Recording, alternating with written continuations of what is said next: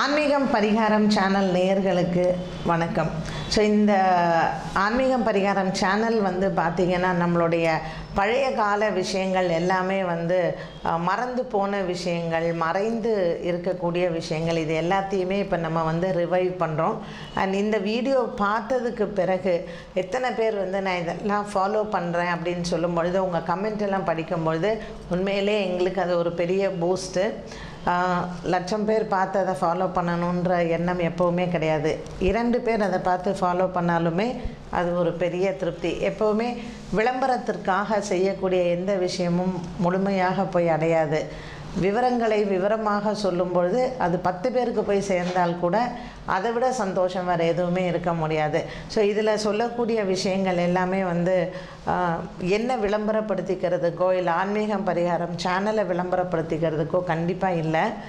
ஒரு நல்ல விஷயங்கள் நல்ல காஸ் அது பத்து பேருக்கு போய் சேருது அப்படிங்கும்போது அதை விட ஒரு ஆத்ம திருப்தி நிச்சயமாக இல்லை.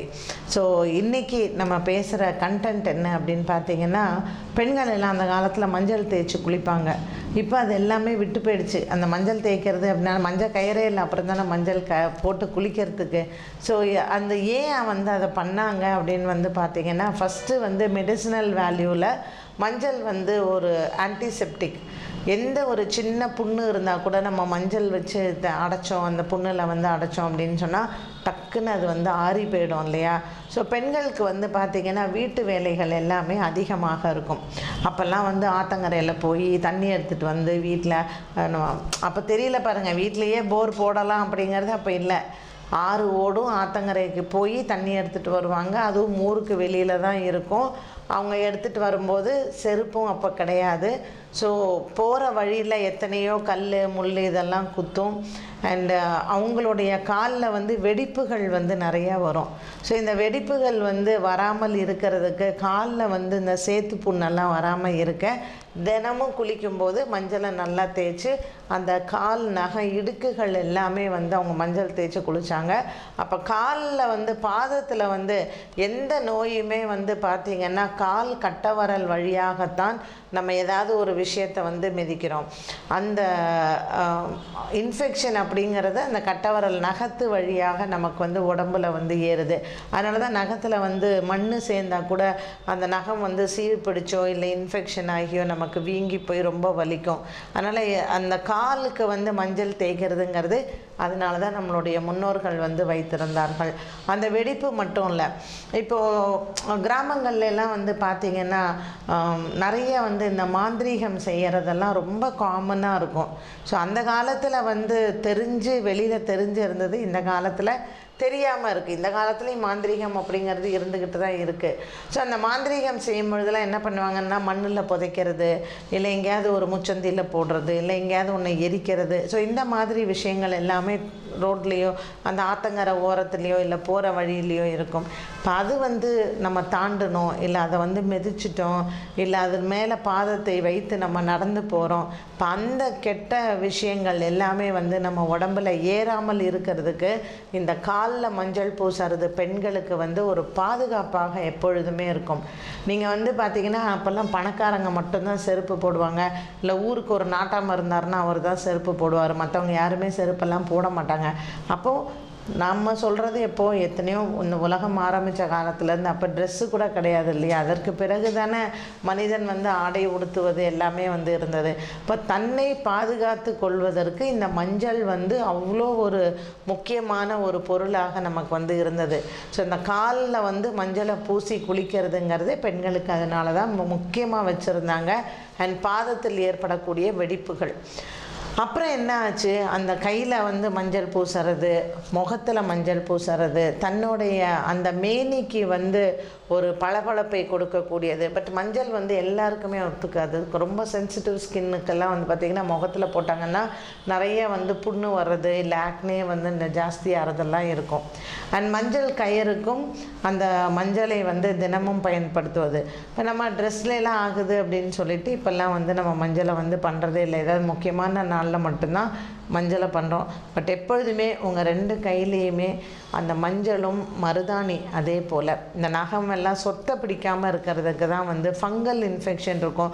நீர்லேயே நம்ம கை வைக்கிறோம் இல்லையா?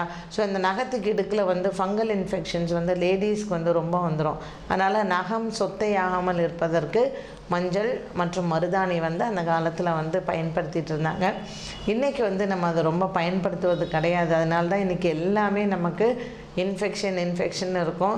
ஸோ ஒரு சானிடைசரை வச்சுக்கிட்டு எங்கே போனாலும் அதை எடுத்துகிட்டு இன்றைக்கி வந்து மாஸ்க்கு சானிடைசர் எப்படி இருந்ததோ அந்த காலத்து சானிடைசர் நமக்கு மஞ்சளாக இருந்தது. நம்மளே எல்லா விஷயங்கள்ல இருந்தும் மஞ்சள் வந்து பாதுகாத்த ஒரு விஷயம். ஸோ முடிஞ்சவங்க அதை ட்ரை பண்ணுங்கள் கஸ்தூரி மஞ்சள் அப்படின்னு ஒன்று உண்டு.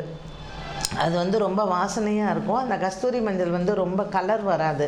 அந்த பசு மஞ்சள் மட்டும்தான் நமக்கு கலர் வரும். கஸ்தூரி மஞ்சளுமே நம்ம வந்து யூஸ் பண்ணலாம். அண்ட் ஸ்கின்னுக்கு ரொம்ப நல்லது கஸ்தூரி மஞ்சள். அண்ட் ஜென்ரலாகவே நம்மளோட ஸ்கின்னை வந்து பராமரிக்கிறதுக்கு வீட்லேயே நம்ம வந்து இந்த கடலை மாவு மஞ்சள் இதெல்லாம் வந்து போட்டு பேக் யூஸ் பண்ணுறோம் இல்லையா? ஸ்கின் வந்து ரொம்ப எந்த ஏதாவது ஒரு வெட்டு காயம் இருந்தால் கூட நமக்கு அந்த புண்ணு வந்து ஆறிடும். அதனால் மஞ்சள் வந்து நம்மளுடைய மேனிக்கு பயன்படுத்துவது அப்படிங்கிறது ரொம்ப முக்கியமான ஒன்று. கடையில் வாங்கிறத விட நம்ம மஞ்சள் வாங்கி அரைக்கிறது அப்படிங்கிறது ரொம்ப விசேஷம். அண்டு இந்த கொம்பு மஞ்சள்னு இருக்கும் குண்டு மஞ்சள்னு இருக்கும். இதை எதை உரசி போடுறது அப்படின்னா குண்டு மஞ்சள் தான் எப்போவுமே ஸ்கின்னுக்கு நல்லது.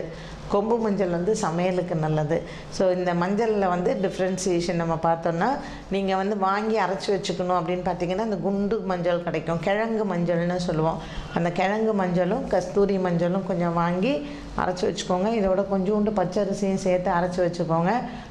ஸ்கின்க்கு யூஸ் பண்ணி பாருங்கள் உண்மையிலே அது ரொம்ப நல்லாயிருக்கும். அண்டு அரிசி ஏன் நம்ம சேர்க்குறோன்னா அது அதோடு சேர்த்து நம்ம அந்த பேக்லாம் யூஸ் பண்ணும்பொழுது ஸ்கின்க்கு வந்து பச்சரிசி ரொம்ப ரொம்ப நல்லது. ஸோ இது எல்லாத்தையும் சேர்த்து அரைச்சி வச்சுக்கோங்க. அண்ட் டெய்லி காலையாவது யூஸ் பண்ணுங்கள் ம சுமங்கலிகள் அதுவும் காலைல மஞ்சள் பூசுறது அப்படிங்கிறது அவங்களுக்கு நல்லதோ இல்லையோ கணவன்மார்களுக்கு அவங்களுடைய ஆயுளுக்கு ரொம்ப ரொம்ப நல்லது. ஸோ இந்த பதிவு கண்டிப்பாக சுமங்கலி பெண்கள் மட்டுமல்ல கல்யாணத்துக்கு இருக்கக்கூடிய பெண்களுமே வந்து பார்க்கலாம். நம்ம வந்து இதெல்லாம் நம்ம பேசும்போது எப்படி ஒரு ஐம்பது வருஷத்துக்கு முன்னாடி நம்ம போயிட்டோம் இல்லையா? ஸோ திரும்பவும் ஹிஸ்ட்ரி ரிப்பீட்ஸ் இட் செல்ஃப்னு சொல்லுவாங்க. வரலாறு திரும்பவும் வரும் அப்படின்ட்டுன்னு. ஸோ திரும்பவும் நம்ம வந்து லேடிஸ் எல்லாம் இந்த ட்ரெண்டை வந்து ஆரம்பிக்கலாம். அண்ட் எத்தனை பேர் இந்த மாதிரி மஞ்சள் வாங்கி காலுக்கு பூசுறீங்க அப்படிங்கிறதையும் இந்த வீடியோலாம் பார்த்ததுக்கப்புறம் உங்கள் கமெண்ட் பாக்ஸில் மறக்காமல் போடுங்க. இந்த பதிவு பண்ணதில் எனக்கு ரொம்ப சந்தோஷம். அது மாதிரி பார்க்குற உங்களுக்கும் நல்ல திருப்தி இருக்கும்னு நினைக்கிறேன். மீண்டும் சந்திக்கும் வரை நன்றி வணக்கம்.